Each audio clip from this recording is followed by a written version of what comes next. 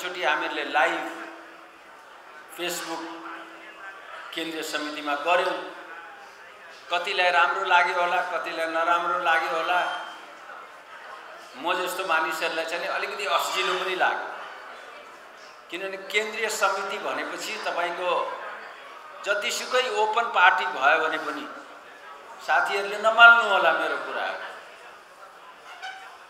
अहिले वक्ताहरूले मेरो कुरालाई नमान्न सक्नुहुन्छ। तर केन्द्रीय समिति भनेपछि कति कुराहरू हामीहरूले केन्द्रीय समितिभित्रै मात्रै पनि राख्नुपर्ने हुन्छ जो बाहिर आउन हुँदैन। तपाईँको निर्णय नै हुन्छ के के निर्णय हुन्छ त्यो तपाईँहरूले थाहा पाइहाल्नुहुनेछ। त्यो निर्णयपछि हामीहरू नेपाली कङ्ग्रेसलाई विधि सम्मत विधान सम्मत चलाउँछौँ भन्ने विश्वास तपाईँहरूलाई दिलाउन चाहन्छु। हाम्रा साथीहरू म लगायत हाम्रा साथीहरूले गठबन्धन गर्न हुँदैन। हामी एक्लै चुनाव लड्नुपर्छ भनेर हामीहरूले पटक पटक बाहिर पनि मिडियामा केन्द्रीय समितिमा पनि कार्य सम्पादनमा पनि हामीहरूले राखेकै हो। तर त्यो हुन सकेन। म यो किन कुरा भन्दैछु भने हामीहरूको निर्वाचन प्रणाली नै यस्तो बनाएको छौँ कि बहुमतको सरकार आउनलाई सम्भवै छैन। सम्भवै नहुने निर्वाचन प्रणाली हामीले बनाएका छौँ। अब केही साथीहरूले के भन्नुहुन्छ भने होइन यो समावेशी समानुपातिक जुन पद्धति हामीहरूले राखेका छौँ त्यसलाई त सिद्ध्याउनु भएन। त्यो त यो अहिलेको संविधानको मेन मुद्दै हो। म पनि मान्छु यो कुरा। तर के प्रत्यक्ष निर्वाचनबाट हामीहरूले समानुपातिक समावेशी चरित्रको प्रत्यक्ष निर्वाचन गर्न सक्दैनौँ र? या अन्य कुनै उपायबाट हामीहरूले सबै जात जातिलाई समावेश गरिकन अगाडि गर्न जान सक्दैनौँ र। पक्कै पनि मलाई लाग्छ प्रत्यक्ष निर्वाचन मार्फतै हामीहरूले समावेशी समानुपातिक हिसाबले समावेशी गर्न सक्छौँ। अब आउने आम निर्वाचनहरूमा गठबन्धन त हामी जानैपर्छ यही निर्वाचन प्रणालीबाट पनि गठबन्धन जानुपर्छ। यस्तो निर्वाचन प्रणाली बनाएको छौँ कि गठबन्धन बिना जान सक्दैन। तर प्रि पोल इलेक्सन एलायन्स गरेर होइन पोस्ट पोल एले एलायन्स गरेर हामी जान सक्छौँ। हामी एक्लै चुनाव लड्न सक्छौँ भन्ने आँट आजदेखि अहिलेदेखि हामीहरू गरौँ र आगामी निर्वाचनहरूमा हामीहरू पक्कै पनि नेपाली कङ्ग्रेसले एउटा दिशा लिन्छ भन्ने मलाई विश्वास छ।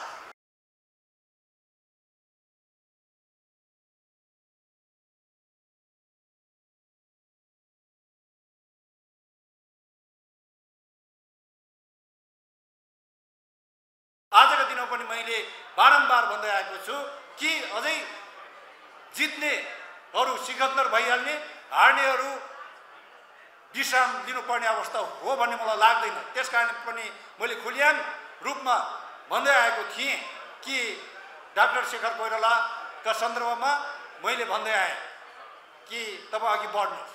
म स्वयं पार्टी उपसभापति हुँ अहिले। मेरो पनि धेरै इच्छाहरू हुन सक्छन् आकाङ्क्षाहरू हुन सक्छन् तर पनि त्यहाँ सबै आफ्ना व्यक्तिगत इच्छा र आकाङ्क्षाहरूलाई पैताला मुनि राखेर मैले भने कि तपाईँ अघि बढ्नुहोस्। किन? किन भन्दाखेरि कि हाम्रो रूपान्तरण मुद्दा अन्त भएको छैन सिद्धिएको छैन। कहीँ कतै हामी फेरि अल्मलिन सक्छौँ। त्यस कारणले गर्दाखेरि हाम्रो अर्जुन दृष्टि भनेको पन्ध्रौँ महाधिवेशन हो। पन्ध्रौँ महाधिवेशन आउँदै गर्दाखेरि हामीले डाक्टर शेखर कोइरालालाई फेरि हामीले सभापतिको रूपमा उम्मेदवार मात्र होइन पन्ध्रौँ महाधिवेशनबाट सभापतिमा स्थापित गरेर अघि बढ्न सक्यौँ भने तब मात्र हामीले रूपान्तरणको यात्रालाई वास्तवमा हामीले यथार्थमा अगाडि बढाउन सक्छौँ भन्ने मलाई लाग्छ। उच्च तहका नेताहरूको सम्पत्ति छानबिन आयोग गठन गरेरै छाडिन्छ र कसैलाई छाडिन्छ सिधा कुरा छ। रूपान्तरण त यहाँबाट होला नि त। रूपान्तरण त यसबाट गर्ने होला नि त। विषयबाट गर्ने होला नि त रूपान्तरण। सिद्धान्तबाट गर्ने होला नि त रूपान्तरण। एउटा पछि अर्को फाइल खोल्दै जाने खोल्दै खोल्दै जाने। जो जो पढ्छन् पढ्छन् काङ्ग्रेस एमाले माओवादी को को पढ्छन् मलाई थाहा छैन तर एकपछि अर्को गरेर फाइल खोल्ने हो ठोक्दै जाने हो भ्रष्टाचारलाई कानुनको कटघरमा उभ्याउने नै हो भनेर कुरा भएको छ। त्यस कारणले गर्दाखेरि म हिजो जो जे थिएँ आज मन्त्री हुँदैन त्यही छु। साथीहरूले भन्नुहोला कतै यो ढलपल गर्यो कि? कतै यसले यो चाहिने त फेरि मन्त्री भएपछि त डराउन थाल्यो कि? होइन। हुँदै होइन। म जहाँ छु त्यहीँ छु। मन्त्री पद छाड्नु पऱ्यो छाडौँला तर आफ्नो निष्ठा छाडिन्न आफ्नो सिद्धान्त छाडिन्न।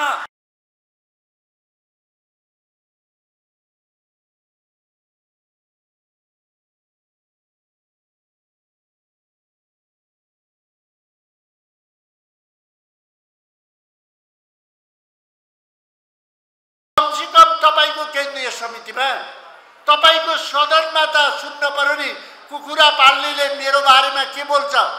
बाख्रा पाल्नेले के बोल्छ? मेरा भैँसी र गाई मरिरहेका छन्। त्यसले के भन्छ? तिनको केन्द्रीय समितिको मिटिङमा के भन्छ? मेरो नदीको पानी बगिरहेको छ। त्यो पानीमा मेरो स्वामित्व हुन्छ कि हुन्न? के भन्छ? भनेर उनले सुनिरहेको बेलामा तपाईँले उनका कुरा होइन एक अर्कोलाई खिलाउन लाग्नुहुन्छ भने तपाईँलाई मत कसले दिन्छ यो प्रश्न पनि आजको चुनौती हो कसले दिन्छ। त्यस कारण जनताका कुरा बोल्नुहोस्। जनताको भावनाको प्रतिनिधित्व गर्नुहोस्। तब मात्रै यो काङ्ग्रेसलाई हामीले समय सान्दर्भिक बनाउन सक्छौँ र बिपीको सपना साकार बनाउन सक्छौँ। होइन बिपीको नाम गणेश कुमारको नाम कृष्णजीको नाम हामी जो लिन्छौँ।